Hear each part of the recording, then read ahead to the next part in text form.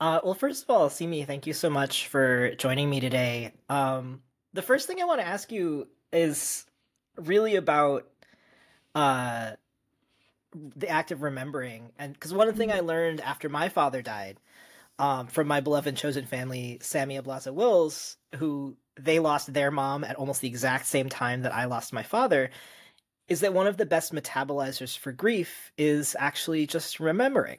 Um, Yeah. and in that spirit, um, what is a story that you have to tell about your father? Perhaps especially one that's about a detail that is sort of minute but deeply meaningful for you. Yeah, you know, um, so my my father, uh, I just describe him for a moment. He's he's very elegant, very subtle. He was a poet, scholar, educator, activist, um, incredible orator, charming and witty, and and he looked like um, I know those paintings of Chinese scholars. That's that's how I think of him, you know. Um, and especially as he aged, he really grew into that that delicacy. Um, like he was he was like a bit of brushwork. My father really, really, Mm. and um, had this beautiful, full, feathery, wispy hair that was dark black and then uh, peppered and then luminous silver, like a nimbus, like a halo. And he just exuded light. Um, so there was a place in the living room that I consider his power corner when you walked into our living room and two sofas would meet. And he would sit at the corner where the two sofas meet. He had a coffee table, he had a lamp, was always piled high with books. And he'd have his chai and he'd sit there and read and he'd be writing in his beautiful notebooks. Um, and I'd walk into the house and I would see him there. And um, so, what I recall is the expression he would have when I walked into the house. And sometimes when I'd come in, he would stand, like he would rise to greet me. And um, it was so moving to me because at some point I heard this tradition, hadith of the Prophet, may peace be upon him. And uh, Prophet Muhammad was very close to his daughter Fatima. They were soulmates, they were uh, very close. And there's a hadith that says that whenever she would enter the room, he would rise to greet her. Now, I come from South Asia, and in South Asian tradition, we have deep filial piety. Um, you might have seen in Bollywood films um, where people enter a room and they touch their parents' feet Mhm. as an act of, of uh, respect. It's a beautiful gesture. Um, in our milieu, in a Muslim milieu, often we go to elders, we bow our head, and they, they place their hands on our head in blessing. Um, but there's this tradition that the Prophet ﷺ would actually rise. He himself would rise when his daughter would enter the room. This was his, his young daughter. And, and I realized that often my father would get up from that couch and rise to greet me. But more often, I mean, on every occasion, it's like something within him rose up. Mm. Like I'd enter the room and I would feel his spirit rise to greet me. I would feel like his his being rising up to greet me, and of course, it would emerge in a smile or a greeting or something in the eyes, um, and and there was a vulnerability in it too, because he had a very hard childhood. He lost his mother when he was very young, and um, had a lot of exile, a lot of rejection in his childhood, as well as a lot of that chosen family kind of love. Um, so I think what I do in his memory is I try to rise like that Mm. for everyone I meet, because everybody is um, someone's child. You know, Mhm. there's a child within everyone. Um, in some way, uh, you know, Muhammad for us is uh, the figure. He's like the representative of a kind of light, and we're all children of that light. It's like the light of humanity. So um, that's been a really powerful act of remembering for me. Mm. either to Thank you. rise in person or to rise in spirit Yeah. when I Yeah. encounter people. And to Thank remember when I'm down that he he did that for me. That's that's who I am. I'm I'm the one hmm for whom this beautiful man would rise, for whom his being would rise. So when Mm. I uh, when I'm struggling or I feel, you know, sad or bad about myself or I'm berating myself as we all do, um, this is a balm. Oh, that's so tender. Thank you so much for sharing that with us. You're welcome. Thank you for giving me the opportunity to share this.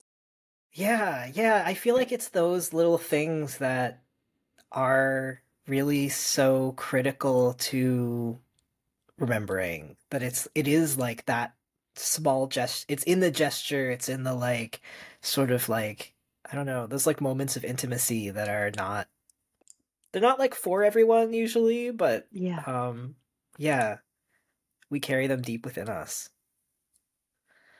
um i guess maybe to get a little uh conceptual about it is uh could you talk a little bit more about what this kind of remembering does for you both personally as you're sort of moving through your life but also like in uh in your activism in um community um and how how is remembering through grief supportive for you? Yeah, you know, I think that my um, father uh, is a model for me uh, because, uh, well, first of all, he lived through so many kinds of grief. Um, mm. you know, his own family was torn apart uh, literally because his great grandfather was resisting uh, British imperialism in India and was exiled. Um, he was condemned to hang and had to leave India, uh, left my great grandmother and my grandfather and uh, uh, his siblings, and he uh, went and lived with the Azad Qabail, the free tribes in Afghanistan, actually. Um, so my father was raised by a father who was in that sense orphaned of his father um, mm-hmm. so i mean there's a lot of heroism and we tell the story of these like um, you know noble decolonial um, ancestors who were fighting and um, but at the same time there's there's the trauma there. And that's that's the vulnerability that i witnessed in my father. Like he, he would rise but it was always there was always something there's always a question about how he would be received. Uh, it was so endearing. It it um, evoked such tenderness in me. Um, but he was a freedom fighter and the son of freedom fighters um, not just the men the women and um, i remember that when i despair um, what we're witnessing, the genocide in Gaza, is shattering to the soul. It's devastating. Um, and my father was exceptionally generous. The amount of charity that he gave, the ways in which he gave it, we to thousands of people that he educated, uplifted, fed, nourished. And he was never a man who had a lot. He was a scholar, he was a student, and then, you know, he was a junior prof with five children. And but um, so when I'm in grief, I really, I just, I try to turn around and give. Mm-hmm. That's what I do. Every time it feels overwhelming, I've thought, like, can I help one person have a meal? Can I help somebody to get a tent? Can I help somebody? Uh, you know, recently Gazans were needing to leave Rafah for supposedly safer zones. Well, transport for a family out of Rafah is about $400. And if you're sitting in Rafah and you've been told to leave because flyers are falling, where do you come up with about $400? Um, so, you know, I mean, my father really taught me this Muslim principle. If you save one life, it's as if you've saved humanity. And if you kill one soul, it's as if you've killed all humanity. And um, so my goal has been to try to save one life, one more life, um, in whatever way I can. Um, and he was always um, ready with a willing ear to support people and to listen. I have one of my best friends in high school. He calls her the night wanderer. After she would leave the public library, uh, you know, at like 11:30 p.m., in high school, she would come to my house and she'd sit in the living room with my dad. I'm an early bird. I'm a morning person. I wake with the birds with my mom, Fajr prayer, dawn prayer. But they would be up. He's like, "Oh, my night wanderer was with me last night," and you know, and she would just talk to him. And they and this. So this is the kind of person he was. Um, so that's what I strive to do: mm-hmm. to be a listening ear, to be a caring heart, to be a harbor. Um, I can't say that I'm one one hundredth of what he was in that respect. Um, and but uh, but he inspires me to do the best that I can with my capacities. Mm. I really, I really love. I, I, I gotta say, I really love it when I hear about people's parents who have friendships with their friends. Yes. Like there's there's something about that particular parent to me that is like they there's there's it says something very specific about their character, right? That it's like it's not just like here are these kids who are just running around whatever, but it's like I don't know, an adult who takes an interest in their kids' friends like that, I feel like is such a like uh it's it's taking it's taking the role of of teaching and mentorship so seriously my mom was like that too. Yeah. That she was she was very like she was always asking me about what my friends were doing. She wanted them to come over. She wanted to have dinner with them and ask them about their interests.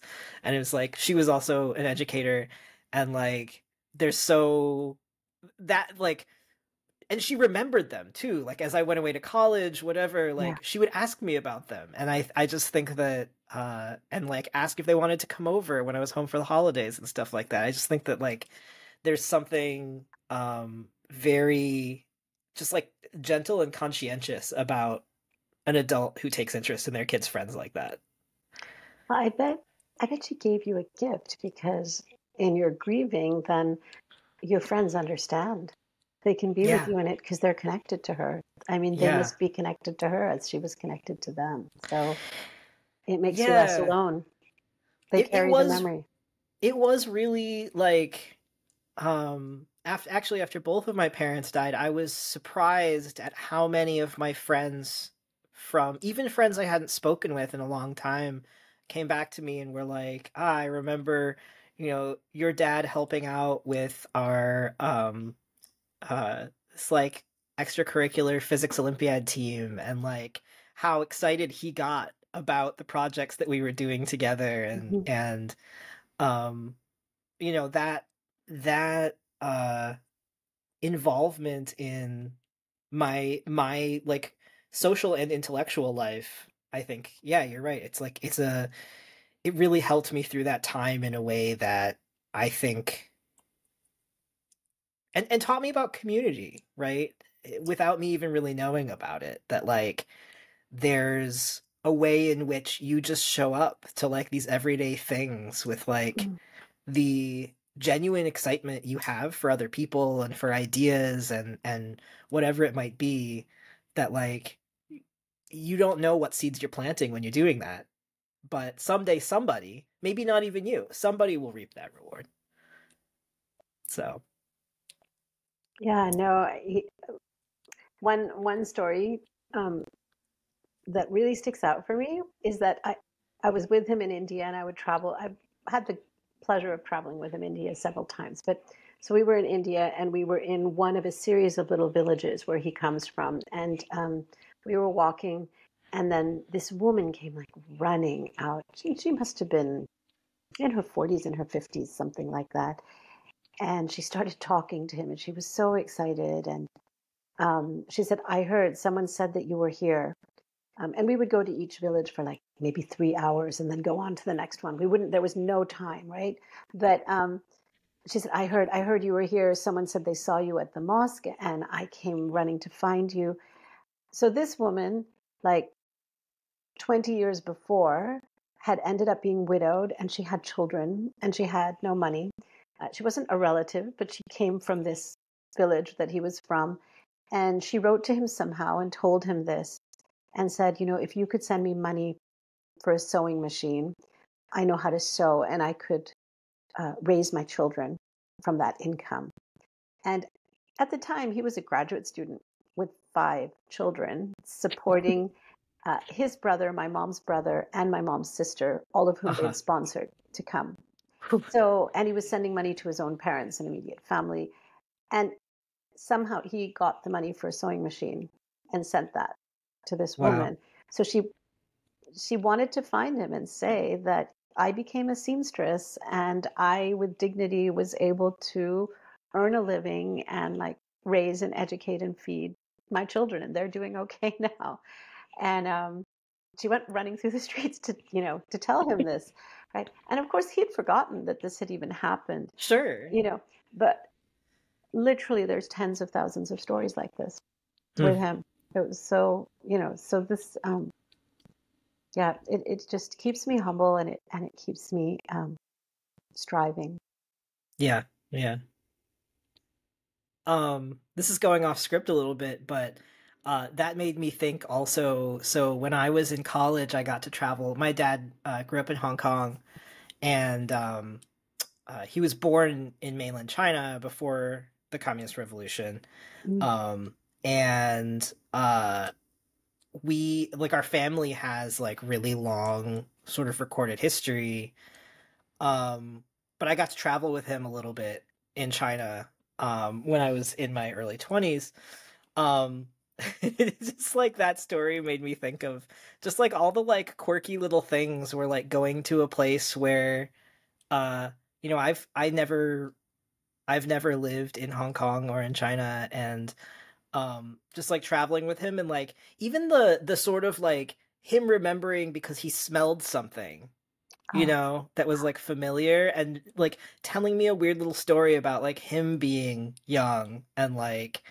uh or like the he was in Hong Kong when I flew out and the night that I arrived he picked me up at the airport and we went to just like the little like basically diner um near my aunt and uncle's apartment and he ordered for me because he was like you have to eat this. Yeah.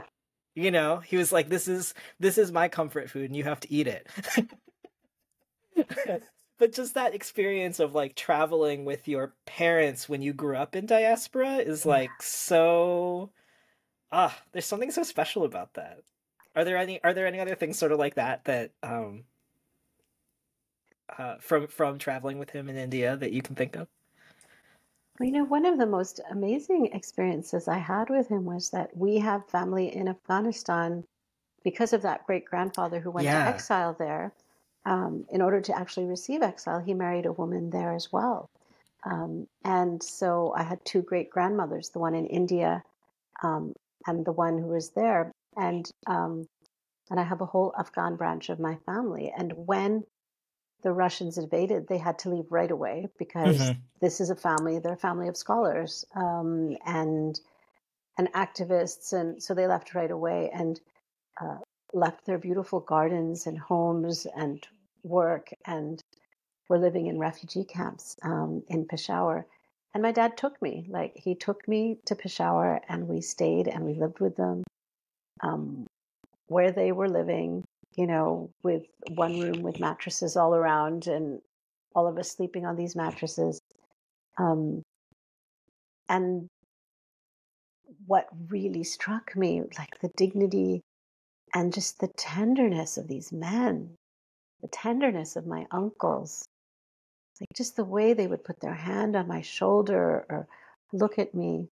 Um, in Persian, we use the epithet John, which is like life or breath or soul.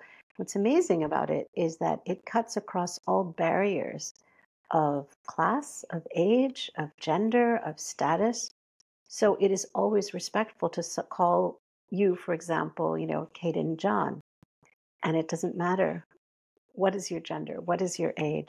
So they would call me Seemi John, and I could call them, you know, also you know, Inayat John, or sometimes Ammo John, Uncle John, but the tenderness in it, um, and the strength and also vulnerability uh, it was an amplification of him. It was like seeing him replicated in so many uh, different forms.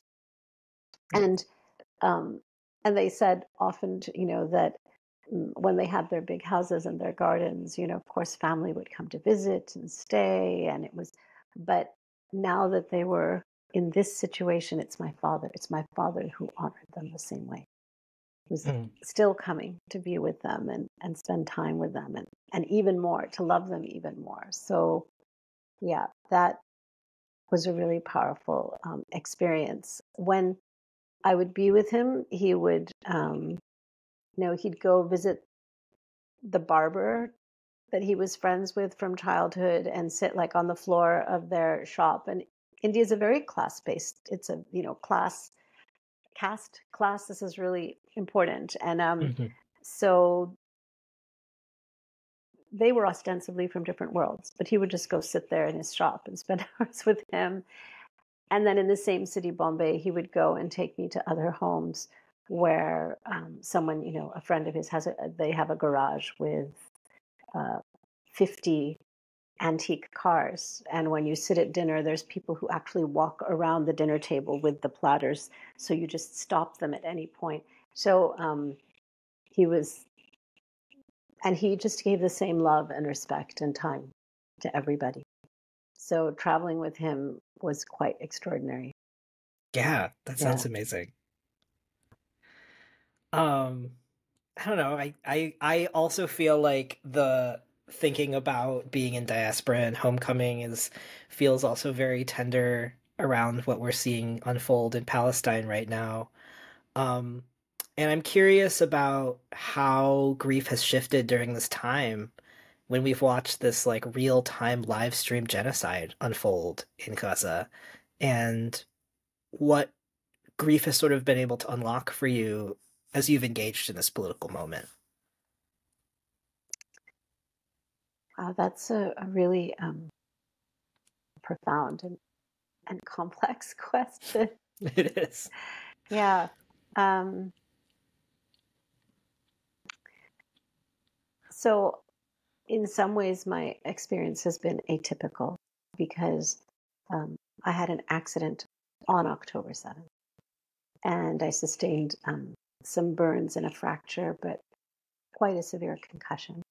So I've been on medical leave and I was not able to be present at protests. Mm-hmm. And I think a lot of our processing is like through this physical act of being at a protest, being in like company, um, being in a place that mirrors your grief, your outrage, um, your aspiration to try to bring some water to this fire, if it's one drop that you're bringing with your voice. Um, so it was very hard. I was really isolated. I was at home a lot of the time. And um, I had to really, um, and I couldn't even be in Zooms because my screen time was limited right. to 20 minutes a day, really. Yeah. So um, my father um, has a PhD in comparative religion. And uh, when we were growing up, we lived at the Center for the Study of World Religions at Harvard. Um, and we were surrounded by Hindus, Christians, Buddhists, Jews, Muslims um, who live in that center and study and are doing their PhDs, but are also practitioners. And we shared um, all our celebrations and holidays. Um, so this is a legacy he gave to me from my earliest days. When we moved there, I was about three, two and a half, maybe. That's where my memory begins at that hmm. place. Mm. The like at the door um, that 1970s red door to our apartment and when you opened it the furniture was orange and blue right so it was it was that it was a particular moment and um, so the the way that I have dealt with my grief is by being part of a coalition of um, Jews and Muslims who have been supporting initially 12 and now about 20 families in Gaza um, sending money to them directly for food, for tents, for um, medicine, just for the basic things that they need, but also being personally in touch with them and offering emotional support. So there are there are two people out of those 12 um, that I have personal connections with uh, long before October 7th, but it's intensified since October 7th because the need is intensified. Mm-hmm. Um, and really, every time the grief overwhelms me, I try either to reach into what I have and also to reach out to people I know and say, look, um, can we put one more week of meals on the table for people? Could you help with the money to rent, to get, uh, to rent a truck, to get them from this zone to this other zone, which is not safe, but which may be safer. Um, but it's also, you know, the my processing of the Greek must have been in the WhatsApp groups where I'm talking with the people that we're because uh, we collaborate, we work together. Oh, have you sent money to this person? That person said they need something. Trying to take care of everyone, but our conversations with each other, because um, our grief then is it's grounded in like real information we're getting in Facebook Messenger all the time, and the sharing of this real information, and mm-hmm. the attempt to come up with whatever solutions we can. Um, and we share that kind of structural understanding of uh, the the causes, you know, of this. But it's it's very nitty gritty, and I think that helps. Yeah, and it it gives me hope because we're modeling. You know, it's not just that we're helping, but we're modeling the world that can be. Mm-hmm. Yeah. So I'm a lot better now and I hope to be able to be in the encampments for the you know Shabbats and the Friday prayers. Um, yeah, and to bring some of my own um, experience um, as a Sufi teacher, engaged in kinds of healing practices and ceremony into those spaces, um, and also to now be able to come into the protests. Yeah, yeah, and that's great. Be with people. I think we need to be with people. It's yeah, it's so critical to be with people right now. Um, and I also hope uh, your concussion symptoms continue to yeah, get better because they're they're a lot better. That's why I'm able to do this. So I'm I'm grateful. I mean, that was um, you know I was in some ways. I mean, I was processing the grief through my body. It happened October seventh. So October seventh, yeah. I got this huge cast, um, and I had chemical burns here and I had a concussion. So it was so, uh, but I was receiving the most nuanced, tender, subtle care, you know, from people laying hands on me or mm-hmm. putting acupuncture needles in me, you know, um, in beautiful rooms with a salt lamp, you know, with the salt lamp glow. And um, and of course, the hospitals, the doctors, and I'm in Canada, so it's all just this is all available to me from the government, and I have excellent extended health through the university.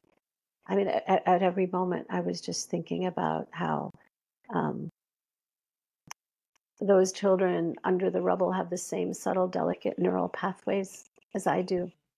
They yeah. merit the same care. Someone saying, "Let me put like these delicate needles in you and let your chi flow the way it, it needs to, and allow you to heal in this safe space." Um, yeah. So I felt very connected through my embodiment and in the recognition of the vast difference between what I was receiving, which was everything I needed. Yeah. Um, and and what they are are not receiving. Yeah. Yeah. I had a in November of last year, I had a, a major medical procedure and I, I had a lot of those same thoughts that like mm-hmm. getting in the surgery prep room, you know, having a nurse bring me ice water. Yes. Because to like take the the like anti-nausea pills, you know. Um just like the sort of like that sweet care from strangers.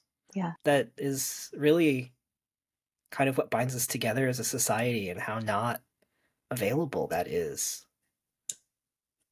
And that everybody deserves that level of, of tenderness and care. Yes. Yeah yeah, no, it's um, uh, my my uh, practitioners kept saying after a concussion, your entire job is to calm your nervous system. I'd say, mm-hmm. this is so hard to do right now. This, you know, this is how do I calm my nervous system? Yeah, this is like, yeah. um, um, and it takes a lot of discipline not to fall into just doom scrolling, just receiving, you know, uh, and and not then also doing the work, which is the sharing or the writing your representative or showing up, taking meaningful Mm-hmm. political action, taking meaningful humanitarian action, you know. Um, so so I do try to that um, I'm involved in the path of um, dervishi and turning, and that symbol of the dervish is that the, the right arm is raised and it's receiving, and then the left arm is lowered, offering. And uh, when you're in pain, that's what you're supposed to do: just receive, receive, and be a channel, channel through your heart, filter through the heart, and offer, and keep moving, keep turning, keep turning and offering, right? And um, so sometimes when I don't know what to do, I'll just I'll do that practice symbolically and allow that then to take me, um, you know, as a way of regulating and then take me into some other action. You know, whether Yeah. it's the letter you write, whether it's That's super, super beautiful. Thank you so much, Seemi. you're welcome. You're welcome. Thank you so much for sharing the memories of your father with us, Seemi John. As I know your voice to be so such a beautiful voice, I knew that I wanted to ask you to bless us with a recitation. Um, I want to ask you to perform um, Refaat Alareer's final poem, If I Must Die. Like your father, Refaat Alareer was a poet and a professor from Gaza. One of the reasons that I asked you to speak about your father is that loving him and remembering him is in itself an act of radical resistance. The memories of the love of our gentle, tender men are themselves a threat to white supremacy, colonialism, and mm. authoritarian fascism because our opponents want to portray our men as violent and therefore deserving of violence, as full of hatred and therefore deserving of hatred and death and extermination. So it is in it of itself an act of resistance to remember the truth about the tenderness of our men, of our sons, of our brothers, of our fathers, of our cousins, of our grandfathers. And our opponents know this. Alareer was deliberately targeted. Per the Euromed monitor, the apartment that he was in with his family was, quote, surgically bombed out of the entire building where it's located, according to corroborated eyewitness and family accounts, which came after weeks of death threats that Alareer received online and by phone from Israeli accounts. In his last interview before being killed, with the sound of Israeli bombs exploding in the background, Alareer said, quote, I am an academic. Probably the toughest thing I have at home is an expo marker. But if the Israelis invade, if they barge at us, charge at us, open door to door to massacre us, I'm going to use that marker to throw it at the Israeli soldiers, even if it is the last thing that I would be able to do. And this is the feeling of everyone. We are helpless. We have nothing to lose. On the 26th of April, 2024, five months after Israel, Israeli bombs surgically killed Alareer and his family members, his eldest daughter, Shaima, her husband, Mohammed Siam, and their newborn baby were killed by an Israeli airstrike on their home in Gaza City. Shaima had written to her father, Refaat, in a message after she delivered her baby a few months after her father was killed. I have a beautiful news for you. I wish I could convey it to you while you are in front of me. I present to you your first grandchild. Do you know, my father, that you have become a grandfather? This is your grandson, Abdul Rahman, who I have long imagined you carrying, but I never imagined that I would lose you early even before you see him. So I wanted to ask you, Seemi John, if you would grace us with Refaat Alareer's final poem.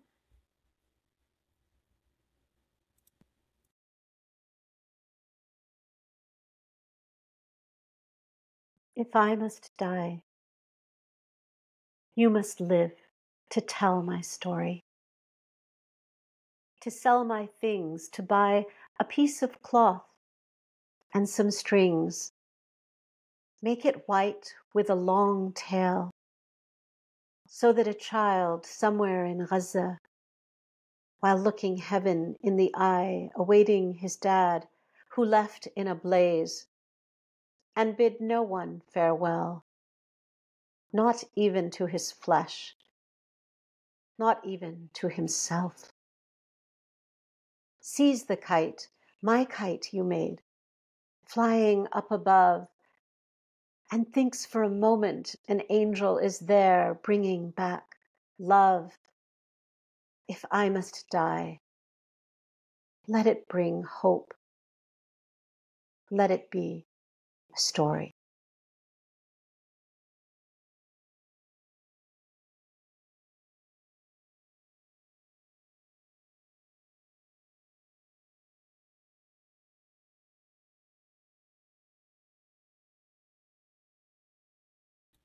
Let their memories rise in justice.